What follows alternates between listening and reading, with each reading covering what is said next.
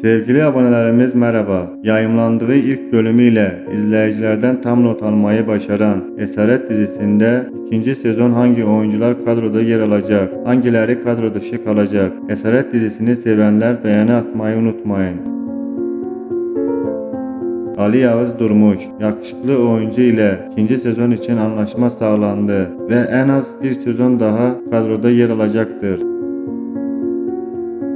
Hilal Anay, genç ve güzel oyuncu ile şimdilik yeni bir anlaşma yapılmadı ve iddialara göre ikinci sezonda kadroda yer almayacak. Melahat Abbasova, Azeri asıllı olan usta oyuncunun ikinci sezon kadroda yer alması beklense de henüz net bir karar verilmedi. Mustafa Şimşek, dizinin olmazsa olmaz oyuncusu ile yeni sezon için anlaşma yapıldı. Yağmur Çelik, oyunculuğuyla göz dolduran oyuncunun ikinci sezon kadroda yer alması bekleniyor.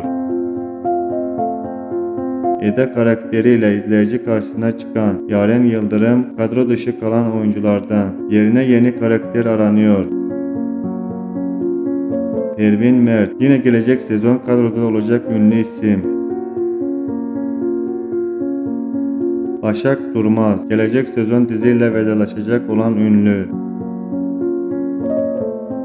Hazal Taşbek, başarılı oyuncu hakkında henüz net bir karar verilmedi. Gözde Erdem, gelecek sezon kadroda yer alacak. Mustafa Can Savaş, çocuk başrol oyuncusu olarak diziye devam edecektir. Dizide hayat verdiği Orhun karakteriyle çok beğenilen Cenk Torun ikinci sezon kadroda yer alacak.